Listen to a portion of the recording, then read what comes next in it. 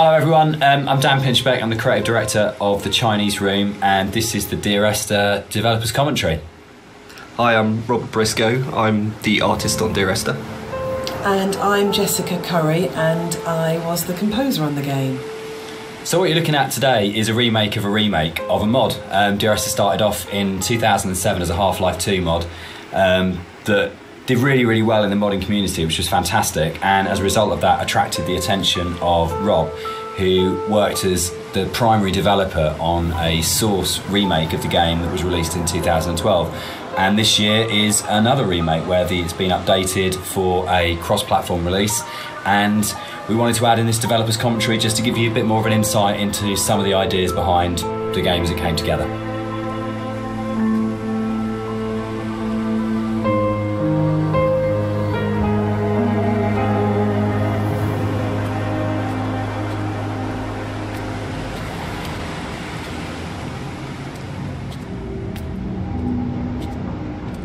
So you'll see around you in a lot of the environments, there's there's a lot of detail ingrained into everything. Um, one of the things that I wanted to do with Dear Esther is uh, bring the visuals up to the same kind of level of detail that Dan and Jess had put into the other areas of the game. So um, all of the history and the kind of hidden pieces of story that are intertwined with the VOs and the music and stuff, I, I kind of wanted to bring some of that into the environments. Uh, so if you look around you, you see that there's a lot of interesting bits and pieces, a piece of paper with someone's name on it, uh, a photograph, uh, an ultrasound. All of these little bits and pieces are kind of laid in to just kind of bring another aspect of the story uh, into the game. And also, they're actually randomized. So every time you play, you'll see something different lying around. And this is just to build on this idea that everybody has a unique experience and a unique uh, interpretation of the story.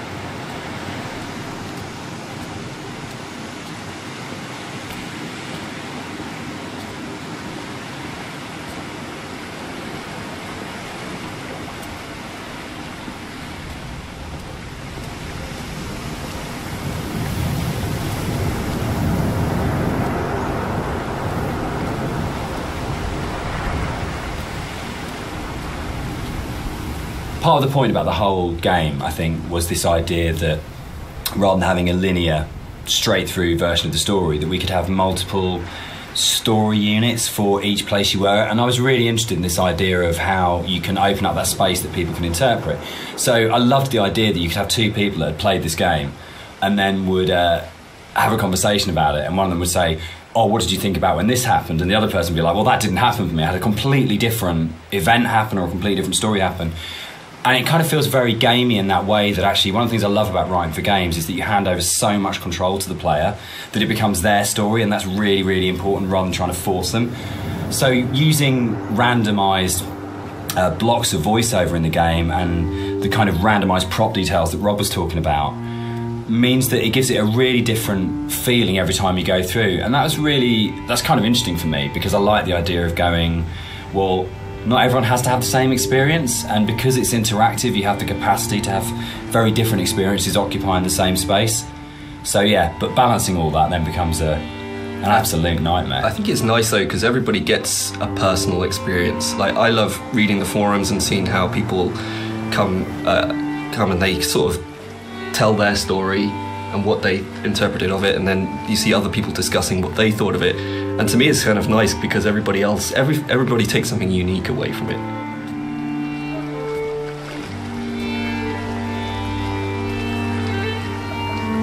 So something I wanted to do as an artist um, was create uh, some kind of reward for the player when they explore the island.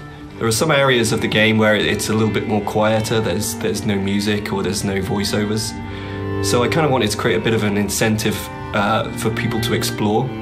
And you'll find around the island that these these kind of like uh, random uh, scattered items that that are usually slightly out of place from the environment themselves but in in another aspect, they actually bring a little bit of uh, story um, to the island itself. Usually to the island or to the to the actual uh, protagonists or, or, you know the characters that surround it. Um, so you'll find around the island these these little props and stuff. Uh, just keep your eye out for it if you're exploring.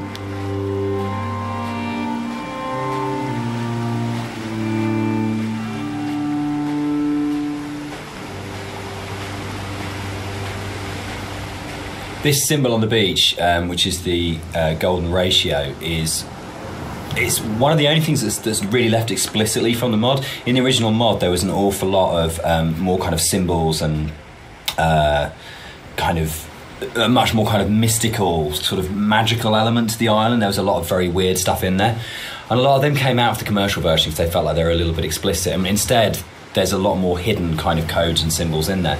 There's still some some stuff which you can only actually see or experience if you are not playing the game. If you're looking at it from editor, um, we had in the original mods things like trees planted to mirror um, the shape of the M5, or there's a whole there's a whole bunch of things that are there to represent star clusters and all kinds of things like that. And we'll probably talk a bit more about kind of like hidden details and, and the secrets in the game as we go through. But that was really interesting for us in terms of the design of it, of going, you've got your kind of your conscious explicit play experience but games are always constantly manipulating your mood and your feelings and the decisions you're making. And so really trying to create a space that had all of these kind of subliminals in it was a really interesting thing that we wanted to do, both with the original and then I think it got lifted up into a much more sophisticated version when we went to the commercial because Rob was able to bring that sort of level of artistry to the visuals that really got that kind of uh, sense of hidden meaning in there. And that was really important given how kind of complex and symbol heavy and poetic the story is, where a lot of it doesn't, again, doesn't actually make any sense, but it's about kind of leaving you with these I guess like the half life of ideas and thoughts that you can't quite shake that stay with you. So we really were trying to get that blend of, of how music, uh, story, and visuals could all create that really sort of uncanny structure that you wouldn't necessarily be able to define properly, but you knew it, it kind of had a meaning that was staying with you.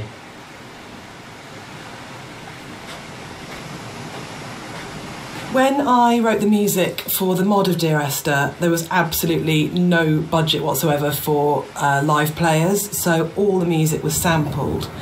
But one of the good things about that is it actually forced me to be quite creative about how I wrote the music. So, with my background in sound art, I wanted to use samples in a different way that wasn't just um, using it to sound like a violin. I wanted to time stretch and manipulate samples to make something different and strange and quite unique. Um, but then, when we got the Indie Fund money, I had the amazing opportunity to re record the music with live players. And that was so exciting for me, actually, because that's where it comes to life. And I thought long and hard about whether to write new music, um, going from the mod uh, to the commercial version. But actually, I decided that my initial and original emotional response to the game was probably going to be the strongest response and reaction that I had. So I just literally, the music that I'd written for samples, I then wrote out for uh, live instruments. But what they bring to it is transformative, actually. And I think the beach is a really good example of this, where you know you have these awful samples soaring away, and then you have the string quartet playing this very bleak, very sparse music, and they bring the presence of the island immediately to it and it comes to life and that's the exciting thing about it. it wasn't a huge budget but just having that experience of working with the players was just magical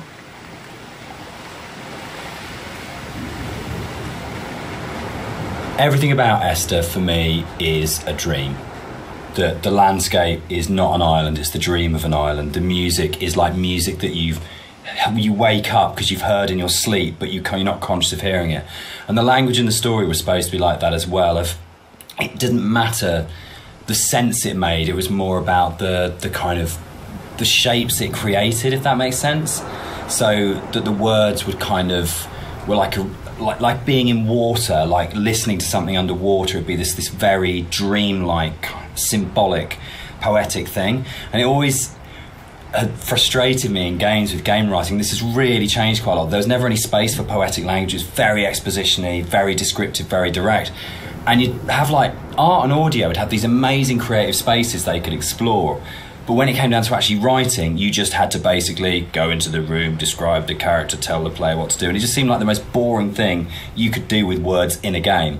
And why couldn't a writer have the same artistic freedom as a visual artist or an audio designer or a, or a musician in terms of being able to say, isn't this just about creating this this kind of emotional tone, this emotional space? Um, and it's really I, I, still love that about the game. It's one of the things I love so much about Nigel's voiceover is it has this really odd, disconnected kind of dreamlike quality to it, where you might finish the game and not actually understand anything that happened, but you're being carried along in the flow of it. Um, and without any kind of sarcasm at all, I get into trouble saying things like this the same design principle applies as this to Halo. It's 30 seconds of fun, or 30 seconds of, of, depressing engagement, I guess, in our case. But it is about that loop of being in the moment in the game constantly, and that's actually the critical thing that matters.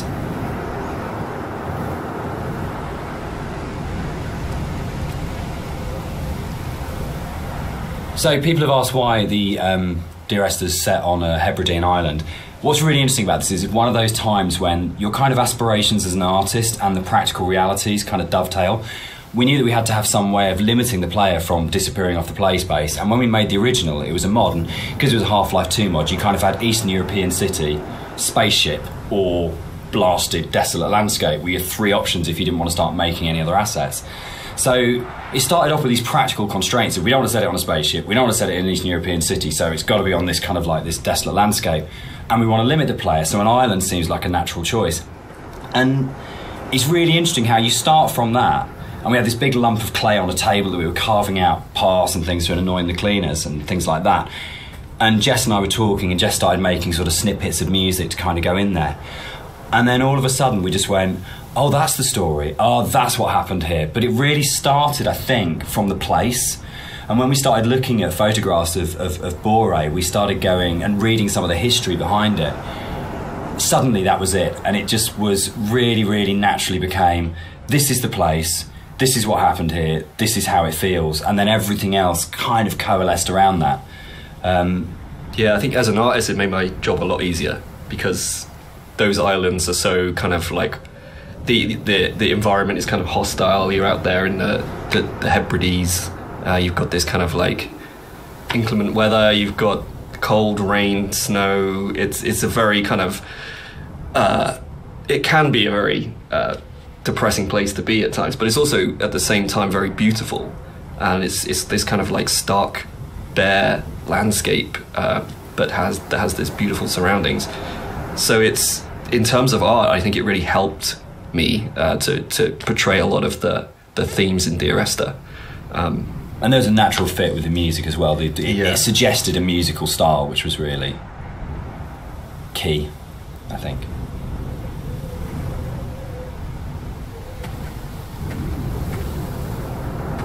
One of the things you're always trying to do as a composer is create memorable themes. And uh, a slight confession is that the probably the most memorable theme, which is uh, "Remember" in Dear Esther, wasn't actually created for the game. Um, Rob's I'm- looking shocked. So it was actually from um, a piece of choral music that I'd written years uh, before, uh, based on a Christina Rossetti poem called Remember. And one of the things I was talking about earlier was how I didn't have any budget. So I had this piece of choral music, and I thought, hang on, this is absolutely perfect for Esther, but I don't want to use all of it. So the only bit that you actually get in the game is the first line of the choral piece of music. But that actually went on to form the main theme of the music that I wrote. And I think for me, it's really interesting about how things that you've written earlier, years before, sometimes come in really, really useful and fit. So I always tell people and students not to despair if something doesn't get used or doesn't work at the time, because actually there'll come a place or in a time where you think, hang on a minute, I've got something that fits. So in terms of that memorable theme, the remember theme gets used in multi- multitude of different ways during the game and one of the things it does is helps you to identify the kind of psychic place that you're in in the game. Um, so the theme is played in lots of different ways, and actually you'll notice that as you go through the game, it becomes more and more broken and more and more manipulated and broken down as the player goes through the journey and as you're psychologically struggling to get to the end point in the game. So music's really, really useful for highlighting the psychological mood and we talk a lot about psychogeography, which always sounds a bit, ooh, um, bit pretentious, but actually, I think it's really important to what the three of us did in the game. Yeah, Um, absolutely. Dan, maybe you want to sort talk of like the core that. kind of idea about psychogeography. If you're not in the place you're in, is not the place you're in, or, or you create the place you're in. It's not just as you're here and then the landscape's out there, but you don't navigate like a city by street signs and by those kind of formal things. You navigate it by the things which are significant to you in the way that you've lived in that space. And I think that was really kind of key to. I think it's really central to how the fusion of art and story and music come together in Dear Esther, because it's not a place where we're going. Right, we have to lead the player up here because it's a natural formation, and then you would naturally have a piece of music here because you come around a corner. But the story, music, and art all work around the idea of what's going on in the narrator's head at this point. How do we represent his emotional state relative to this landscape? And again, it's that idea of the game is it's a dream of a place. It's like a, the idea of it being a fever dream or a coma dream, which obviously ties in a lot with the kind of story, and we'll come back to in a lot more detail when we get to the caves a bit later on.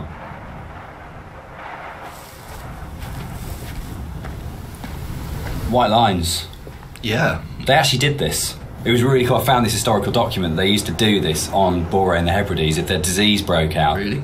they'd actually chip out and expose the chalk. so if you're on a boat and you were coming to the island, you know not to land because it was infectious, which is the coolest, most amazing. It's one of those things where you go, it's almost impossible as a writer to come up with something as cool as that. It just has to be something that was actually done, and it's so sad as well. And I love this bit and the fact that we can do it because it it feels really real because it references a real thing, and like I know there's something really special about that. But it was always one of those bits in the game that I thought we've got to be able to represent this somehow. We have to be able to get these things in here. yeah. I mean, that's really interesting. I actually didn't know that was actually based historically in in real life. But that's that's really cool because I, I mean, I, I my thing about the White Lines is that it is it was kind of it was this completely surreal thing, but also it was kind of it, it just added to the landscape. It's like whoa, what the hell is that? Um, um, and putting that into the game was was kind of challenging because to me it just seemed like oh this is it's going to be really hard to pull off uh, in a way that's kind of realistic. But then when you look at the the kind of art style of the game, it's not really a realistic thing. Like everything is is uh, half imagined. So you've in that way it kind of really fit into the landscape and it kind of creates this amazing um, sort of landmark that you that, that you see in the environment and uh, I just find it really interesting to hear about that. Yeah. I think it's one of those things where it's not a realistic place. And I mean, no game is a realistic place anyway, but one of those things where understanding that you're making something which isn't real and you have that kind of capacity to be sort of to explore it artistically. And we'll come back and talk about sort of like it not being realistic, I think, in, in a little while. But that's really, really important because then you can say it's what it's about what these things kind of represent or how they make you feel as a player not about going, is this accurate? And I love, I get really inspired by sort of doing a lot of research into kind of history and things like that with all of our games um, because you can just find those things that just kind of like speak to you. But it's amazing you can find that in like an 18th century book and go, that really speaks to me now, that has meaning now, and that's fascinating, I think.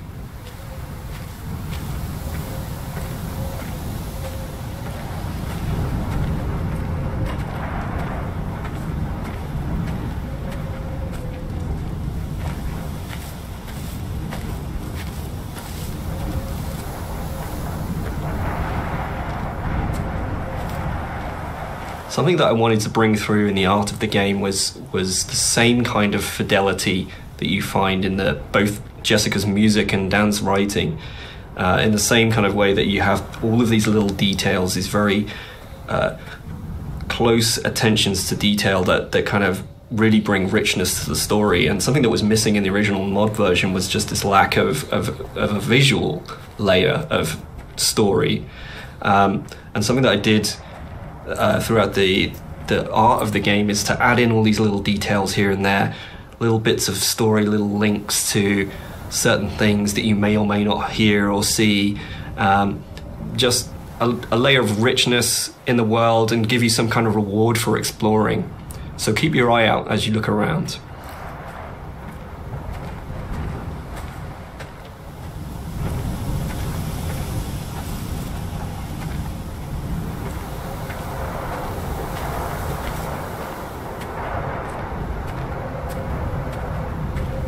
There's a scene in Donnie Darko where Drew Barrymore's playing uh, his English teacher, and she talks about cellar door as being the most beautiful word in the English language, and about it's the sound of the words together. And Dear Esther actually comes from the introduction to From a Faith No More song, the Crab song on the first album, Introduce Yourself. And there's a point where um, I think it's Chuck at that point as the vocalist before Mike Patton just says Dear Esther, and it really lodged with me because the sound Dear Esther just has a, a really amazing sound to it. And I think when we started making it, and the idea of it being this series of letters to someone came through, it just came straight back out of going, that's just a really beautiful sounding combination of words. And I think that really sums up the whole approach to the writing in Dear Esther of what's a really what's the most beautiful combination of words and images we can put together and to do it that way rather than writing a traditional plot as such. So yeah, Dear Esther, Faith No More and Doom, that's where it comes from.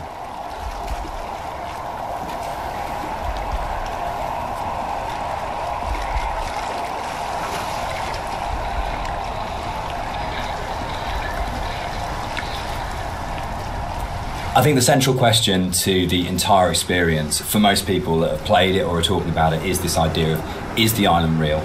Is what's going on a literal event of a man walking across a Scottish island, or is it a dream that he's had? Does the island even exist? And one of the things that we try to do with the writing is to constantly lull the player into a position where they got an understanding, they made a decision about what they thought was going on, and then to undercut it. So you never actually were able to settle on any one interpretation.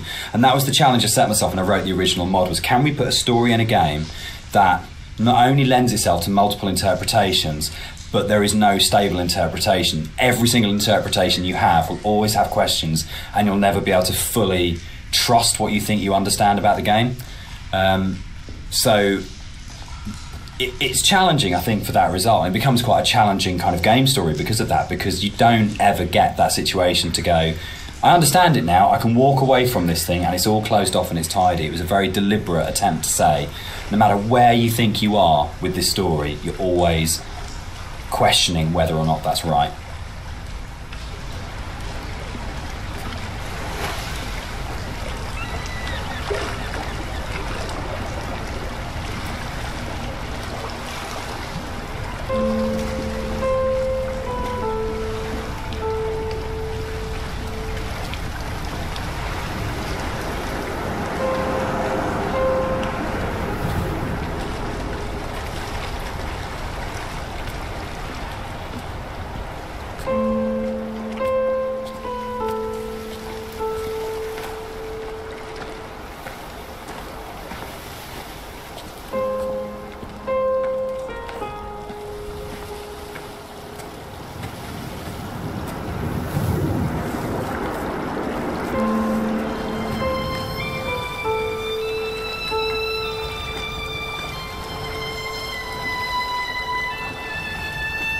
Of the things that's been most commented on with the audio and the music in Dear Esther is how sparse it is. And that was a really deliberate tactic. I wanted to leave room for the player to think and to dream and to wonder and to put their own interpretation into what was happening. And I think the problem with so much modern media is how bombarded we are constantly. It's the kind of MTV flash in your face, constant music. And Dan and I watch a lot of drama together, and there really is constant Endless, music. which is constantly telling you what you should feel, like really clearly, and it's like being kind of beaten up by the music sometimes. And when you read a lot of reviews of Dear Esther, a lot of people say they had this time to think and to interpret, and that was one of their favourite things that they placed themselves so directly into the game and it's their experience and i think that's actually the greatest success of the game on all points from the story to rob's art to the music is we all left space for the player to dream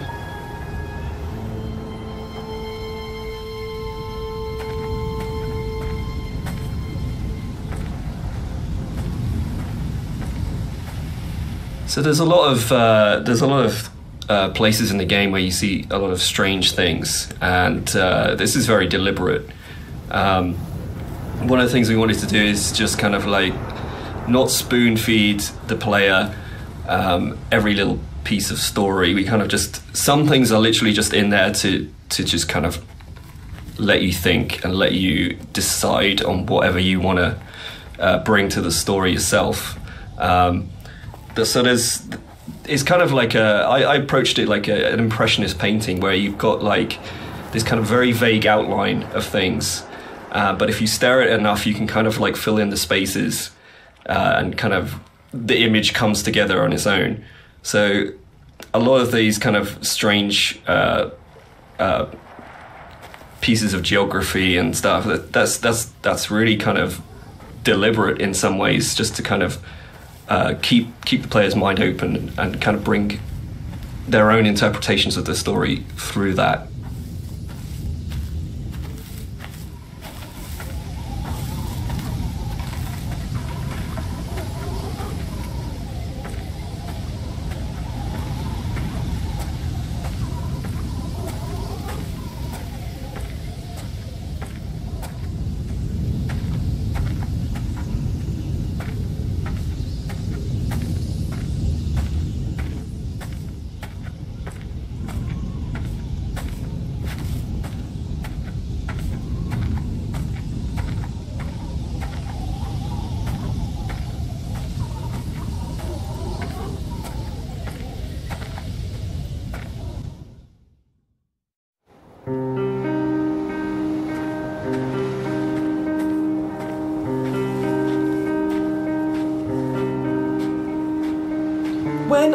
Originally thinking about how to write the music for the game, I suddenly realised that you don't see anybody in the game, and the most important character as such is the island itself.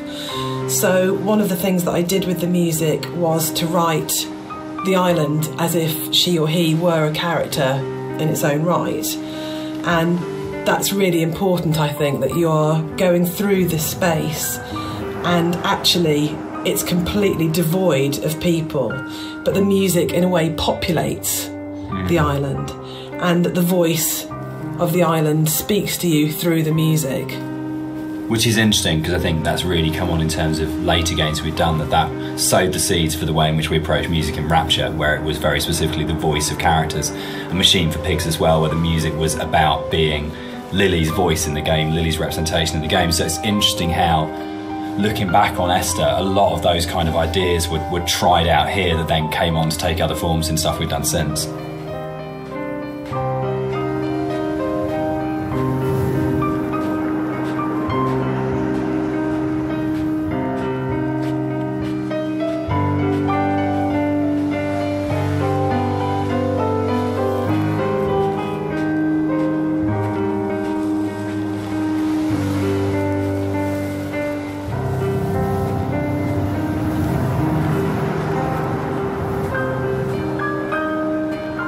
Talk about walking.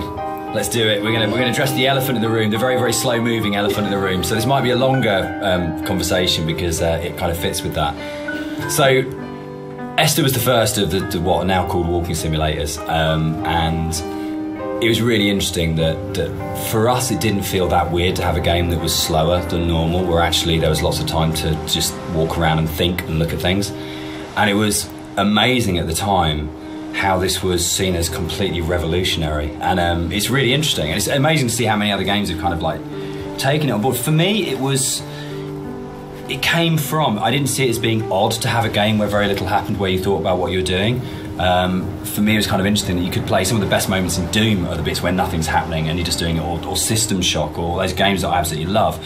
Those quiet moments were the really, um, the really powerful ones. But Esther is definitely slower than a lot of games. And I think that's actually why it's lasted.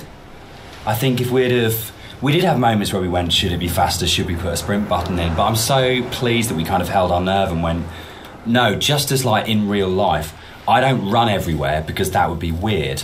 It's okay to have a game where you don't run everywhere. And actually, it is a bit weird to run everywhere. But if you're going to do that, then you've got to support it in other ways. And I think the music was a really powerful way of supporting that change of pace. What's really funny for me though, Dan, is that shamefully I'd never played a game before I worked on Dear Esther.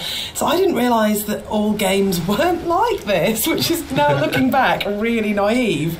But I didn't realise that games didn't have you know, always have, you know, this slow pace. And I thought there were lots of meditative games out there, and that actually wasn't really the case at the time, and that's exploded since. Um, but in terms of the music, supporting that pace that you'd set emotionally felt really important. So if you listen to the music, actually, the BPM is it, it is at a very slow walking speed. And it just almost, I mean, there's a lot of things now that say it's called entrainment, that it slows your heartbeat, or it can speed up your heartbeat when you listen to music. And actually, I think what the Esther music does really successfully is it makes you almost accept and more than accept that that speed, you actually start to feel that's the pace of your journey, and that I really like that about the music. Actually, Um, it just yeah, it makes you just comfortable with that pace too. It, I think it just eases you into it. You feel relaxed.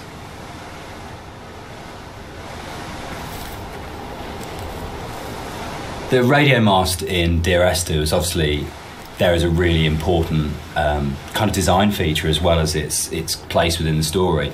And that I think came from it's really interesting it being a Half Life mod to begin with and the Citadel in Half Life 2 that it tells you how far you are through the game. You're always looking up to the skyline. Am I closer to the Citadel? Can I see it? And it lets you know how near you are to the end of the game.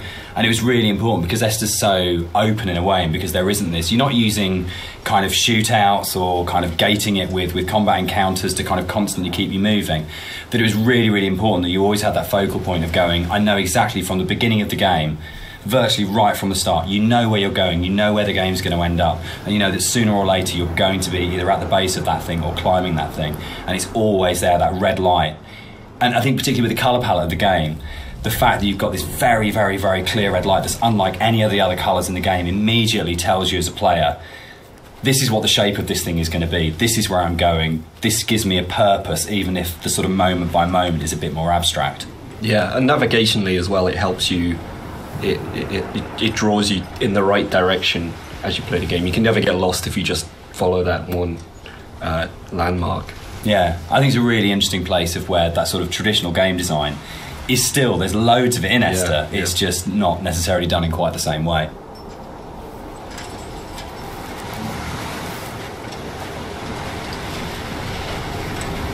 So something you'll notice as you look around the environment is, uh, you know, from a distance you see the landscape. It's kind of a beautiful place in some in some ways, um, but something I wanted to bring to the to the game was that there's this second layer beneath uh, the surface. Whereas if you look at things closely, you see that the actual island itself is very polluted. It's kind of uh, very uh, rotten. Uh, it, you know, everywhere you look, every rock, every every grass surface, it has this layer of filth on it, and it's kind of been put in there just to kind of emphasize further that this island's a really unpleasant place to live. It's like if you scratch the surface, you see like just how corrupt this island is.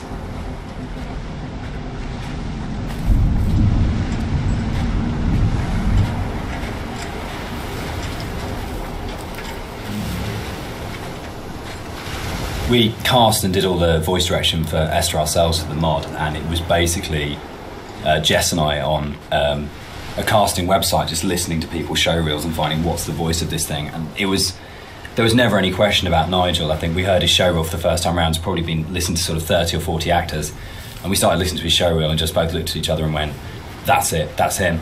And it was amazing when when Nigel came in. We had I think a day and a half to do the whole thing and he just did that amazing thing that really, really great actors did. If he just walked in, got in front of the microphone, and more or less did the entire thing in one take, and we did hardly any retakes on anything. It just felt like his instinct for the character in the game was so strong that he just, without virtually any direction, just came in and just got it. And one of the hardest things with the voiceover that we did was when we went from the mod, which had three potential narrative units per cue, to four potential narrative units per cue was not only finding new bits of writing that kind of complemented and played off what was there in the original mod, but for Nigel to come back in, what, nearly five years later, and to just re-find that voice in exactly the same way and deliver it in a way that fitted in and complemented it was a real testament to his ability as an actor, I think. That apart from the we had spent quite a lot of time trying to make this, the sound actually sound the same in terms of mic placement and things like that. But in terms of the actual delivery of those new monologues, you wouldn't know that that was both written and acted sort of four and a half years after the original thing was done. So the one person who's not in the room sort of today but deserves a huge amount of credit for how the game kind of eventually was delivered, but also I think in terms of how the game has lasted, um, a huge amount of respect needs to go to, to Nigel Carrington for his work on it.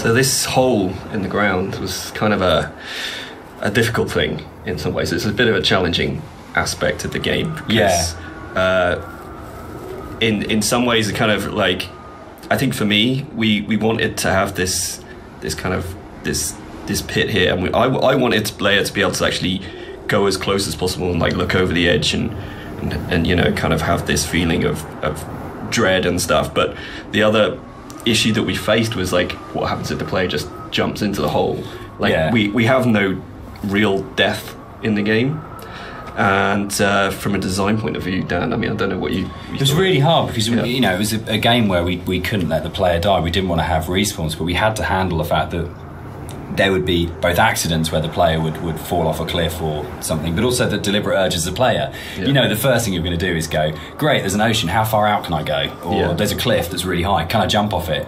And how do you have death in a game where you can't have the player die because if the player starts breaking up the experience by dying and reloading, then you're in a really you start breaking the experience a lot. So Yeah, I mean, we did. Uh, we didn't want to also have like artificial boundaries, you know, where it's Yeah. like an invisible wall. Um, like if you if you take a look through the game, you'll never see a place where you think you can get to, but you can't. There's always some kind of actual natural boundary or uh, man-made boundary. So yeah, that was that was the other thing. We didn't really want to create this invisible wall around this thing. So it kind of the whole drove the the way in which that sort of the the very weird audio visual probably one of the most dreamlike bits in the game where if you do die and you get the kind of the, the heartbeat and the um, the strange flashes of visuals. And I think in a lot of ways if we hadn't had the hole there we hadn't had a, a place where we go right players will jump in this hole. We have to start from that basis. They will throw themselves down this hole.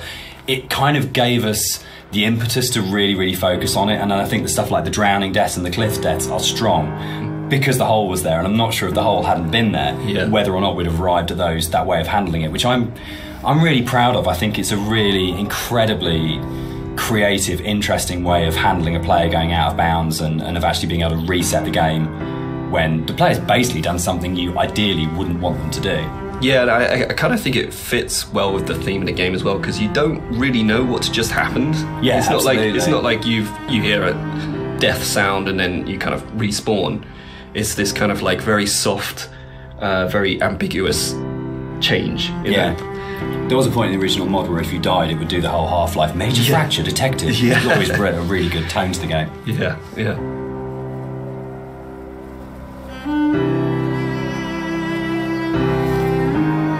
One of the really important jobs of a composer, I think, is to provide the player or the listener with different emotional tones and states. And up until this point in the game, the music has been very sparse, very intimate, and very isolating in a way. But the island is also a beautiful and magnificent place, and what I wanted to do at this point for the first time in the game is to create something that was really epic. So we go from that shift in scale where it's very intimate and small to suddenly realizing that this is an extraordinary and magical place to be, as well as a difficult and uh, quite sad and uh, melancholic place to be. So the string players were instructed at this point um, to play with much more vibrato. Um, up until this point, they've played in a very sort of Scottish style, actually, no vibrato, very plain playing. But this was a really beautiful cue to write, actually, because it that has that scale. You suddenly realise that the island is really big, and um, it, it, you know, you have this beautiful vista, and the music then shifts, so the player can actually, just for a moment, I think, enjoy being where they are. Yes, I think that's it. Can I? yeah, I was going to say this is actually one of my favourite parts of the, of the game. It's just where everything, all the elements, kind of come together perfectly.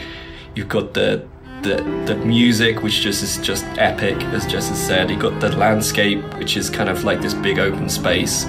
Um, you've got all the little. Uh, bits and pieces that I put into the de- detail of the environment, like the movement. There's leaves blowing around. There's the clouds in the sky.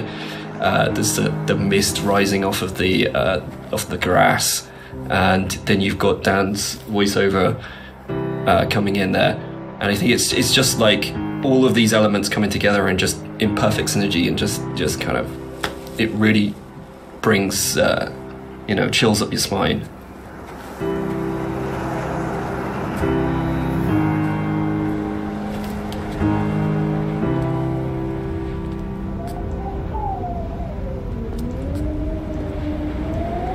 Inside the bothy, there is um, a randomised chance that you can find an ultrasound picture on the table, and I think it's the one instance of randomisation in the game that is like the pinnacle of it because the idea that Esther was pregnant when she died changes everything emotionally about how you understand the story. And not to say that you don't care as much if you don't find it, but it just adds this other layer of just the ground falls away from him. The first time I saw it and the meaning of the, the, the crash and Esther's death just means so much more when you go. It's not just about her. There is a, there was a, an unborn child here, and I think that's where the the randomisation just hits its absolute peak because it's one tiny detail that may or may not be there.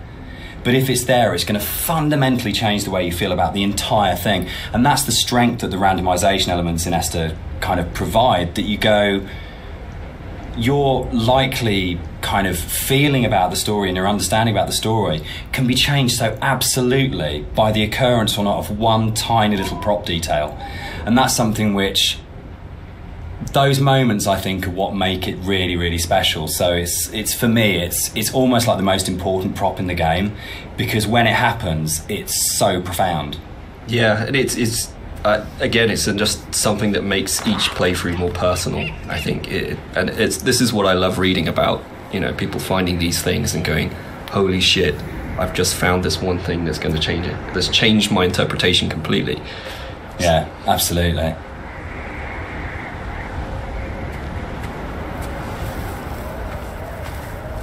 So as you leave the bothy and the seagull takes off, that's the one jump scare in the game, which is kind of interesting because when we made it, we kind of had to, you know, we kind of called it a ghost story, but there was no intention really. We kind of wanted this dreamy, hallucinatory type thing. But when it came out, people started coming back and saying this game is absolutely terrifying. I was really, really frightened, and that was really amazing. And I think it's because nothing happens. We're so trained in games to go there's stimulus all the time that if nothing happens, you're waiting for something to happen. And kind of, I tend to talk, go back to again and again the, the whole sequence in Dead Space 2 when you go back to the Ishimura, and it's like the best bit of Dead Space 2 because for what feels like hours, but it's probably only about 15 minutes, nothing happens and no necromorph comes at you, and it's absolutely terrifying because it's just this space and you're just left in it.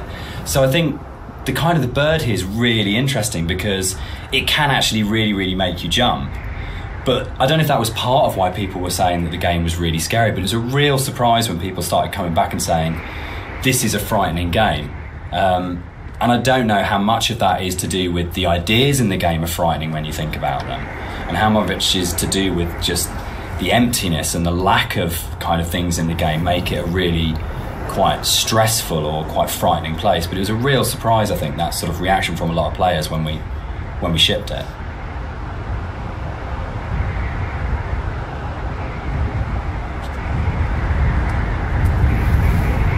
So one of the things that influenced the visuals quite a lot was uh, the tech limitations at the time, um, and also the the kind of themes of the game. Like tech wise, we were never ever gonna kind of achieve photorealism, and I think that was a good thing. I mean, really, it kind of it made us sort of stretch out into other areas, and uh, for me as an artist, it kind of made me think a little bit more creatively.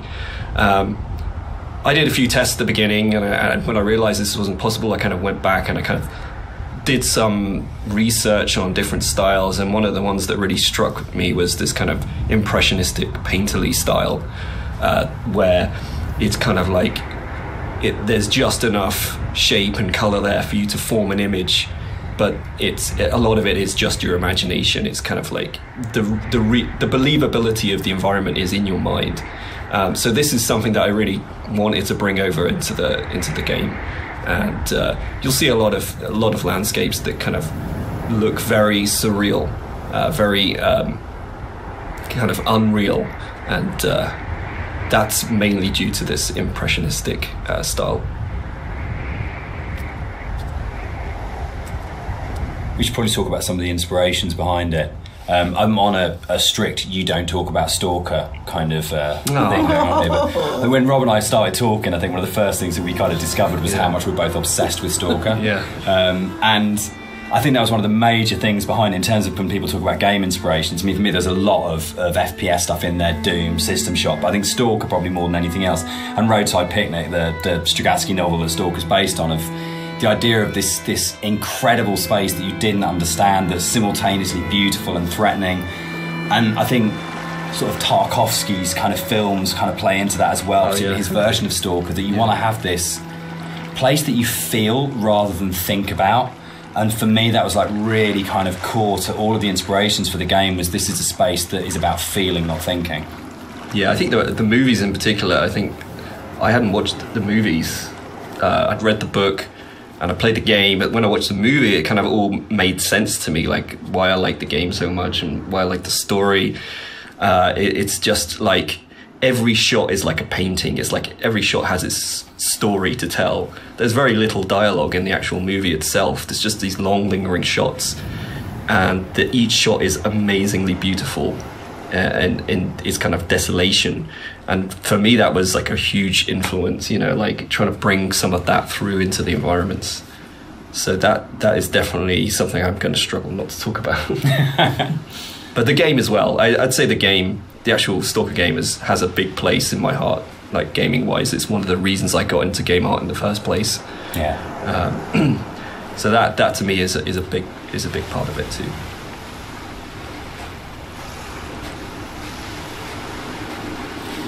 One of the more in, uh, interesting and, and challenging things to do in the uh, the visual side of things is to kind of create a, a, an emotional connection with the player. Um, with the music, it, it's it's very strong, and, and the dialogue can kind of help you to to to feel what the character's feeling, but to kind of really create an atmosphere and to create emotion, it's very difficult. Um, so I, I designed a few things very subtly within the environment to kind of plant imagery into your mind and kind of make you feel uh, certain things.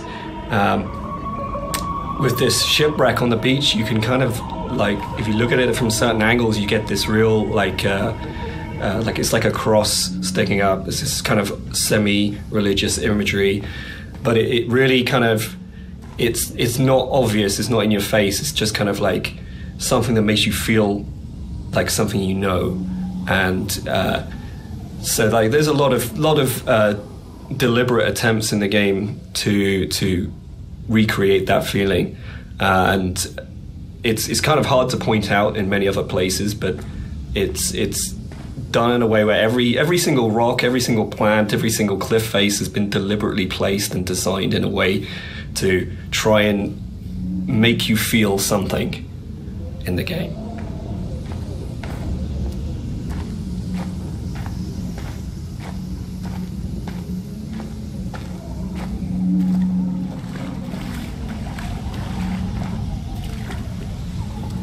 This is another of my favourite bits in the game where you come along the edge of the uh, the sort of gully and you find hundreds of books, and it's one of the first times where most explicitly there's the suggestion that nothing you're seeing is real because there's just no way that this can exist, and it's a really amazing, uncanny moment.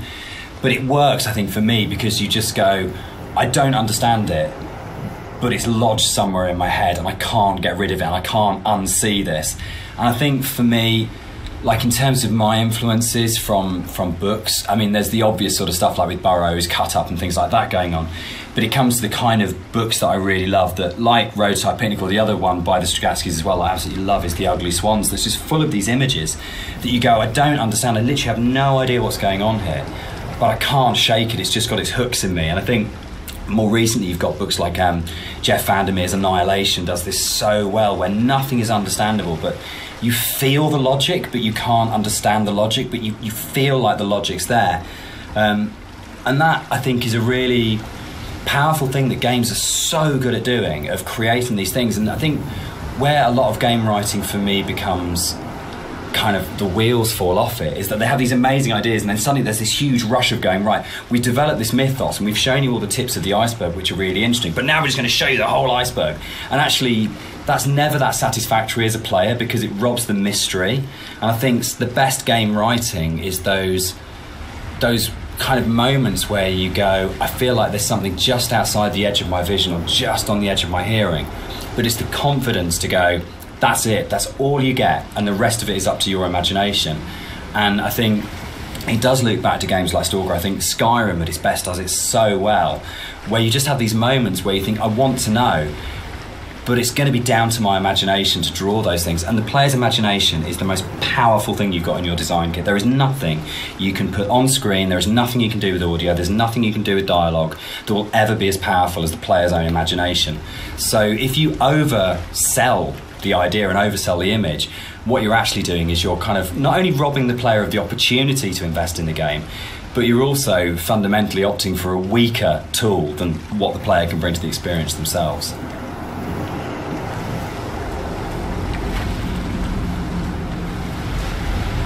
One of the really important images in the game is the radio mast, and the soundscapes that I wrote for the game are really tied into this idea.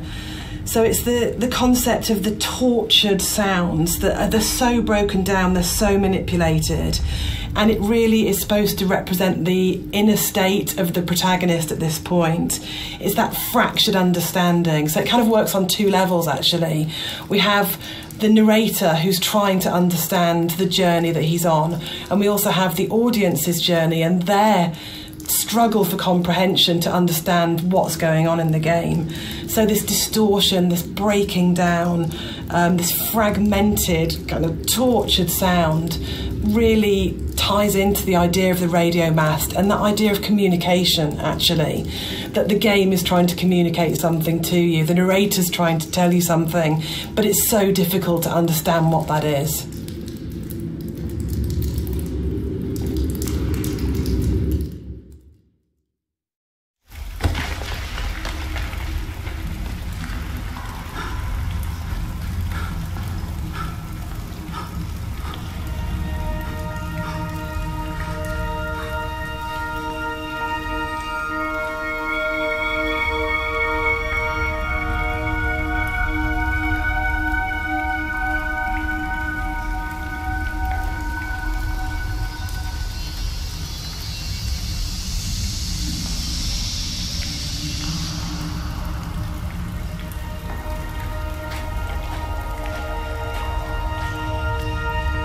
Caves in the game are really interesting because it's it's a very uh, tonal shift uh, within the, the whole visual look of the game. It's kind of like this uh, more organic, more surreal, dreamlike landscape compared to what you're used to before this point.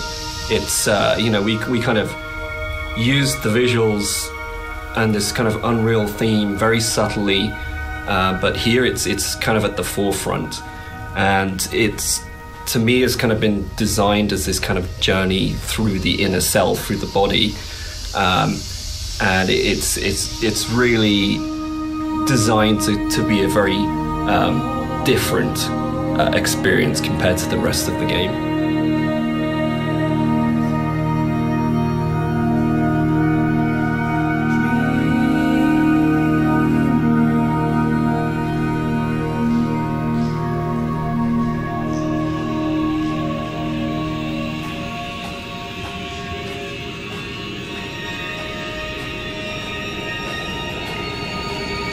This for me is probably the most pivotal music cue in the game, and it's the one that most people write to me about to say that they are absolutely obsessed with and they love. It's the only music cue that has singing, it has a female voice, and I think that's a really important shift for me. That you've gone from this beautiful string music, but it's quite abstract, into what is effectively a song and with lyrics, so you're actually explicitly saying something as a composer at this point. The other thing that I think it's important to say for me is it's the biggest shift from the music that I wrote for the mod. It's the same music, but the act of having it sung by an amazing singer. I sang it on the original and it's really bad. And Clara Sanabras uh, re recorded it. And it's what good actors do, it's what Nigel Carrington did, it's what good musicians do, and they take something that you've created and they just shove it up into the next level and make something that's good into something really extraordinary. And also for me, I think it, it's a point where the environment art and the music just meld so beautifully and so seamlessly into one. I mean, on a personal level, I've played the game hundreds of times now, and I still enter the caves and I look at Rob's work and I'm just absolutely overawed, just gobsmacked by its beauty. And I just think it's a really magical moment in gaming for me, actually. I know that probably sounds really dramatic, but I just think it absolutely hits something where everything just works together. And the music is so dreamlike.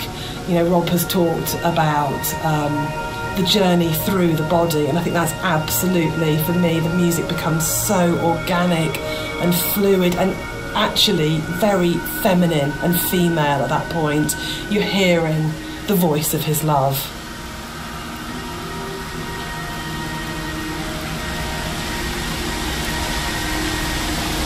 I just want to say that um, I think you can divide caves and games into pre and post Dear Esther. I think that it's just a a way of breaking away from reality into saying what you can do with these spaces that actually makes them this incredibly, much more um, vividly colourful and much more kind of interpretative and look from it. And it's really interesting that I, I kind of I look at caves now in, games and find myself going, that's a very Rob Briscoe cave. and I think that's a really an amazing thing to have achieved. So I, I think it's one of those.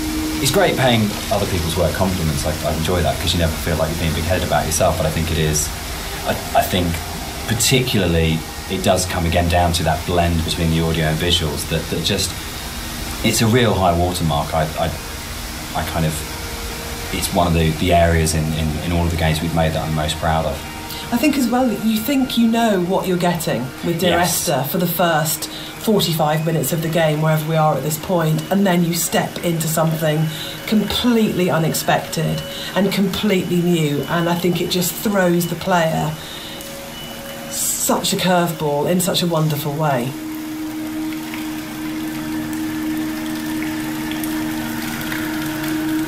I think when you're designing a game, it's very easy to get very locked into what the system can do. And you're trying to deal with all the different variations of things that if a player does this, then this. And we have to deal with the consequence here. And our lead designer, Andrew, and I talk about this all the time about you might have an idea, but then how does this radiate out throughout the entire system? And you get very caught in the idea of what the system has to be and how robust the system has to be and this kind of thing. And I think what's really important as a as a sort of a designer, as a creative, is that understanding that actually the real game is happening in the player's head and that the system can be whatever you want it to be. But if the game isn't running in the player's head as opposed to on the screen, then you're missing a trick. You're not doing letting the game be everything it could be. And I think the great thing about working with a, a game as simple as Esther in a way is that those sort of consequences of player interaction there's not a huge number of them in the way that there might be with a very mechanically complex game. So you can really heavily focus on what is the game experience that's being played out within the player's sort of mind and heart at the moment. And there are other, you know, sort of, I know this is a, a kind of a, a way of approaching game design that, that, has become increasingly popular over the last few years. And like Journey was a really, really good example of thatgamecompany really focusing on what's the emotional experience of playing this game.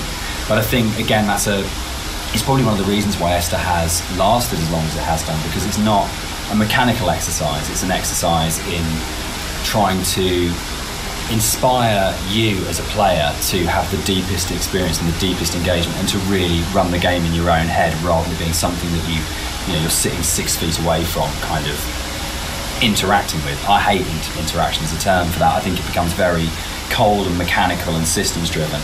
And really interaction is completely trivial and pointless if there isn't an emotional engagement with the player and, and you haven't moved it away from the screen and into the player's head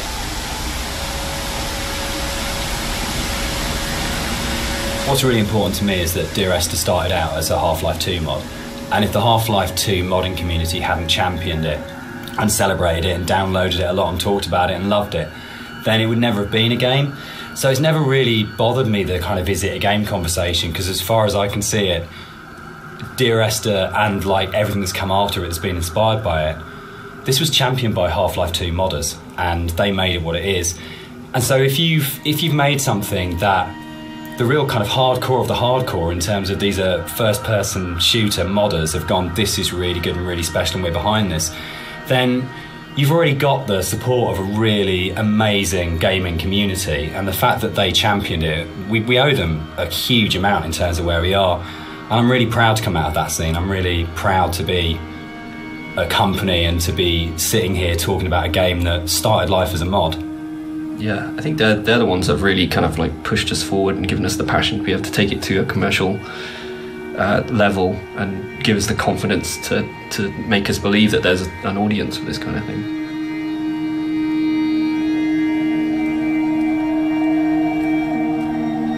Dear Esther was my first foray into writing music for games and I actually approached it very traditionally, so more as a film score than a traditional interactive game music score. And what's really interesting for me is that the lack of interactivity in the music was never a problem for anybody that played the game. and that's a separate discussion. But there's a kind of there's a big schism between game music composers of how much the music should be following the player at all times in terms of interactive music. But one of the reasons I wanted to say something at this point was that this was my little first journey into thinking about how you write music for games rather than films. So I had this song that was a certain length, and Dan said, Well, we don't know how long the player is going to take to traverse through that space. And I thought, Oh no, he's right, and slightly panicked. So this was a very simple solution where the song was split um, in half, and then I wrote uh, some drone music that could just play for as long as was needed as the player um, walks through the space, and then the second half of the song would seamlessly uh, play. And it's very, very simple, but it's quite emblematic for me in terms of my career because it was the first time that I had to think about the player because with film music it's so simple. You know exactly what's going to happen when. But this concept of interactivity was so new for me. So i kind of look back at it fondly because it's quite a basic uh, approach to you know compared to something like everybody's gone to the rapture where that was an open world adventure where i had to really think about the player and their movement through the space. So i kind of look on this very fondly this moment in the game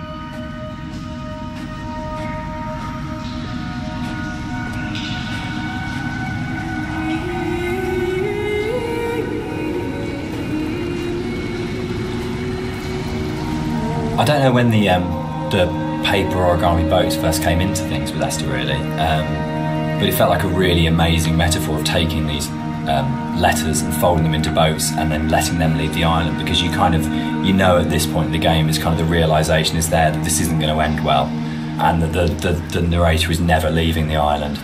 And the idea that this kind of again the idea of communication or the attempt or failing communication or trying to speak through the comb or whatever it is however you want to interpret it but the idea of putting the, the, the boat in the underground river really felt like it, it, kind of reinforced that sort of dream-like kind of uh, quality of the caves of actually there's something really sad about this one boat because when you see it go past you know that even the boats aren't going to leave the island. Like this is this is something which doesn't have a, a tidy, neat kind of like resolution. And there's even if you don't sort of think about it to, to that sort of level of depth, there's just something. It's one of those things that I really love about games that you can do, where it's just a moment that has a really distinct emotional tone to it. That you go, there's a, a pause when you see that boat goes past.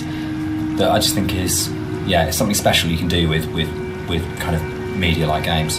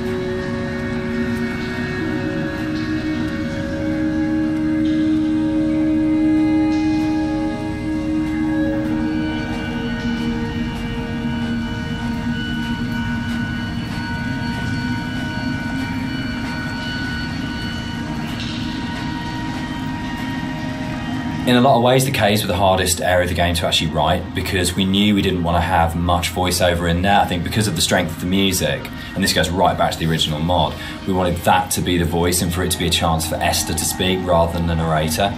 And we also wanted to have this break so when the narrator came out from the caves, you had a real definite sense of something happening and that he had changed as a result of this journey. So it meant really felt wrong to have a lot of voiceover within there, but then that made it really difficult because then it was you had like four one sentence lines in there, and each one of those had to have an absolute clarity and to really, really kind of work. So I think for me, it was really interesting. It's like the difference between writing kind of um, fiction and writing poetry when you um, read really amazing poets and you have that incredible surgical precision where every single word is considered and placed so absolutely.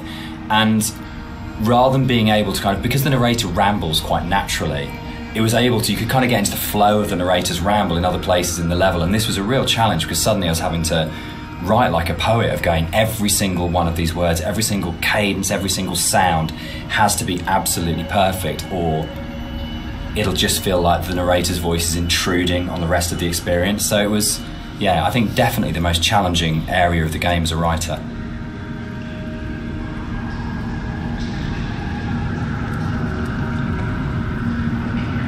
The sound here is a classic case of, again, what music I think does really well, which is you've had this soft, lyrical, beautiful, epic, dreamlike music, and then the moment you come out of the caves, you're into this really harsh soundscape, and the tonal shift is very, very uh, brutal, I think, and deliberately so. Um, you have very little music when you come out of the cave, caves, you hear the wind, and it's a classic case of foreshadowing. So we know from this point that things are probably going to get bleaker, more difficult and yeah, it's something that music does really well, I think, which is that emotional signalling and signposting.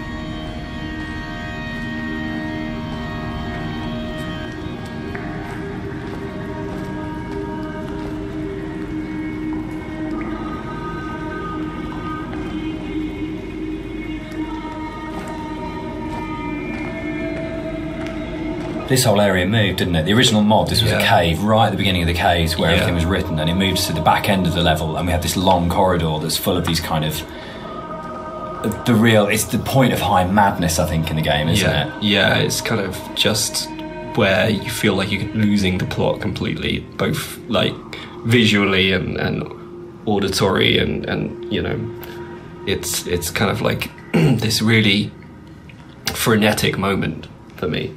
I think it's where you feel most that you're underneath a mountain and you feel yeah. the weight of that mountain and just the.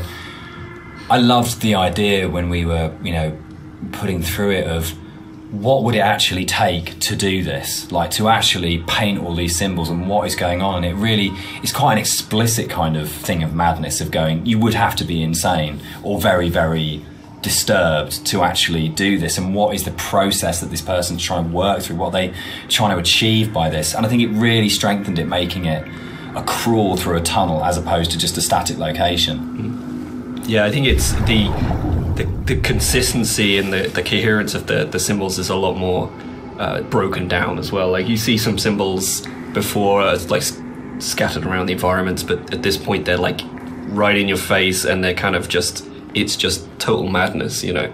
Any kind of uh, meanings have been crossed over and, and confused, and you know, I think it really helps to bring the tension up uh, yeah. at this point at a level as well. So you're kind of coming out of this dreamlike state a little bit. Yeah, you kind of know that you're getting towards the end of the serenity into something that's a bit more disturbed than that. Yeah.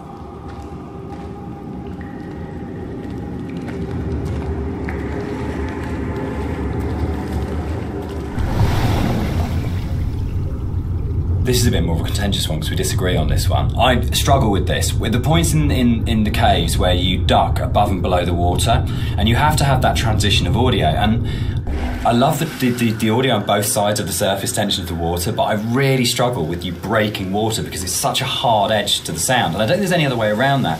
And you need to have those moments where you do go underwater because it's so important. But it's one of the areas that's never sat very comfortably with me because I feel like in a, a level which has got hasn't got a single edge in it. It's the one edge within it, and it breaks me. And that's why I think it's so successful because you've been lured into this completely hallucinatory, dreamlike world, and then all of a sudden, as a player, you're literally gasping for breath. You're coming up for air. And I think when we're talking about that metaphor of the body, for me, this is all, it's so about birth and it's about this coming through the water. And actually, it's a moment of realization for me. But you're, then you're having to go back under again and you're diving down. So for me, without wanting to sound incredibly pretentious, it's about the fight between the conscious and the subconscious and that struggle.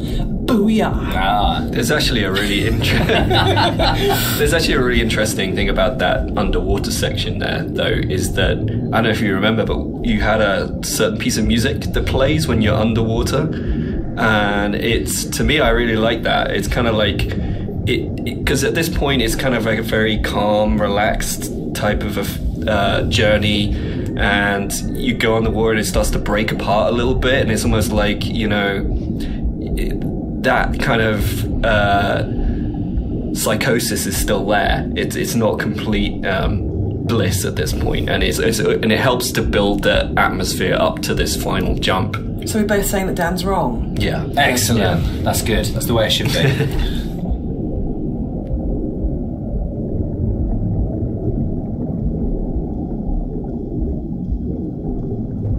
the motorway scene, the biggest, the, the, the, the, the biggest new addition to the between the mod Yeah. and the and the commercial version. This didn't exist in the mod at all. It was a completely new thing. Yeah, it's uh, well, we I, I wasn't sure uh, where the idea spawned from to have this scene. Whether I just sort of went off or we discussed it, or I can't remember. You know, it's- I can't remember. Can you remember? It just kind of appeared, didn't it? And then Yeah, it was just this kind of. I think for me, actually, I remember being some technical difficulty between the drop and then coming out at the end part.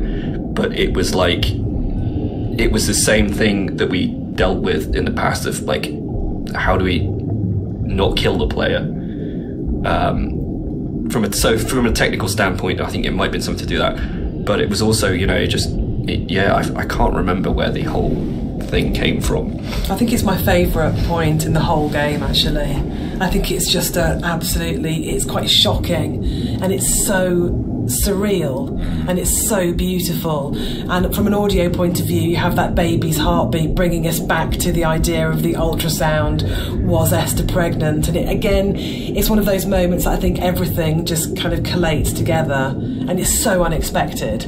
Yeah, for me, it's like a moment of realization. Yes. It, it's like it's you know it's coming to terms with something almost. You know. whether or not what actually is going on at the moment is real. This was, this did happen. There's kind of an absolute. I remember playtesting it, and um, I didn't know that the um, that the car can get switched out with a hospital gurney.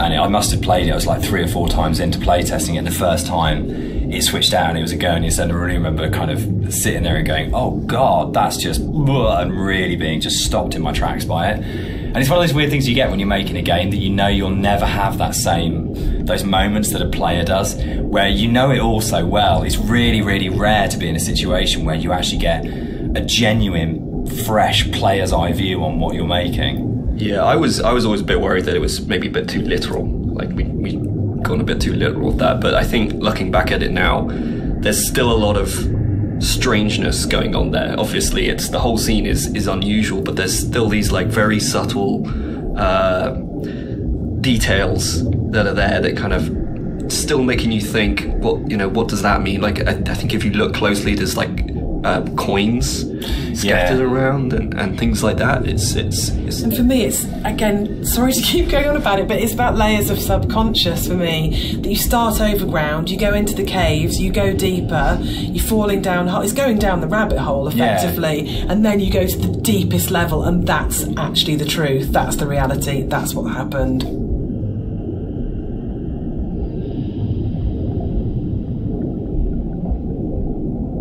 So the admission really is is that um, I did play fast and loose with the geography of the M5. There isn't actually a welcome break service. It's just outside the junction of Sanford. But As we also know as out has to you. players. Are, I mean, what a, what a thing is a, if you make something that's based vaguely on someone in real life. In terms of a compliment, when you're getting emails from from players going, there isn't a welcome break there, and people really trying to work out where is this, and whole threads about where on the M5 it is that's just the most amazing feeling. But I think what I really love about, what I think works really, really well in Esther, and again, it's something that I think is really carried forwards to our other games, is that a lot of the time we're not dealing with kind of like big glamorous, amazing, epic places. It's a sort of like a ratty little island in the Hebrides. It's someone who lived in Wolverhampton. It's, it's just outside, you know, a service station on a stretch of the M5. And I think that earths it, it earths what's going on. It makes gives it a realness as well, particularly when you sort of put it against the the surrealness of the caves. Actually, kind of going, this is really surreal and this is really really dreamlike. But actually, I'm talking about,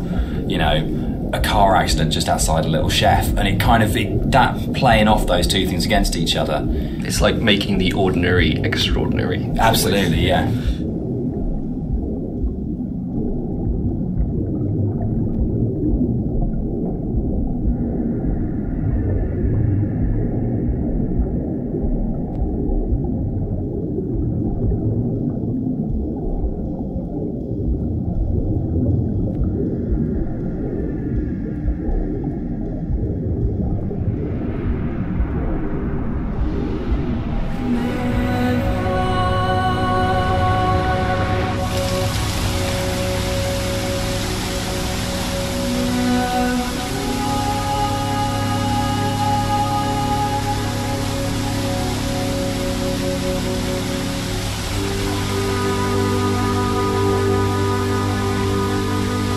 This scene for me is like really, really iconic because it kind of brings this idea of the, the caves being an inward journey through the body uh, together. It's, it's really kind of like a, a symbol of rebirth, and it, it, actually brings together a lot of the visual uh, goals that I wanted to achieve uh, with a lot of the symbolism in the game. Like, uh, I've talked a little bit about how uh, the environment was kind of designed to provoke emotions and, and kind of the impressionistic style gives you just enough information to make you think of things and feel things. Um, but this is like this is probably like the antithesis of this, um, uh, and the whole feeling of rebirth here is is quite strong. Um, I know Jess yeah, the music's really supporting that. Yeah. Because we've gone, she sings always, always throughout, you know, we've got always, always, and then she sings never, and a moment of absolute soaring. It's the climax yeah, as of you, the music. As you come out of the water and the music kind of swells and you just kind of, it is like a, a, a moment of change has happened Yeah. in some way. And I it's think, rebirth, isn't it? It's, Yeah. For me, it's his moment of clarity and acceptance and understanding of the reality of what's happened. And you're Yeah. literally moving towards the light at the end of the tunnel. Yes. You're actually doing that as you go through. but I, I, the music especially, I think before the music got layered in, that scene was nowhere near as kind of powerful for me. Like that kind of just totally made it.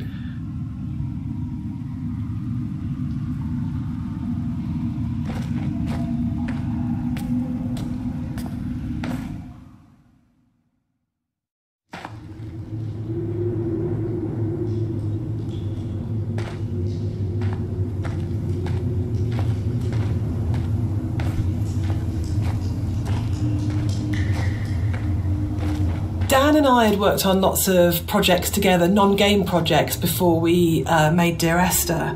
And I think the thing that links all of the projects that we've worked on together is that idea of hidden stories and layers of stories. And one of the things I wanted to do with the music was to embed hidden little hints and stories into it. So uh, the music that you hear here has Morse code, and the Morse code is spelling out the word Esther. And I really, really liked this concept of that some people would understand that it was Morse code and try and figure out what it was saying. It also provided a really interesting rhythmical dynamic. And yeah, it's just about these ideas of hidden stories and layers, but it also starts to emphasize the obsessional nature, I think, of the story in Dear Esther and his agitation and actually slight panic. So you're getting this rhythm that just repeats and repeats and repeats obsessively. So I think even if you don't understand that it's saying Esther, and even if you don't understand that it's Morse code, you're still getting this feeling of this obsessional repetition and slight panic that he has. And again, it's kind of it's it's it's the new chapter, and it's spelling out that something has changed at this point.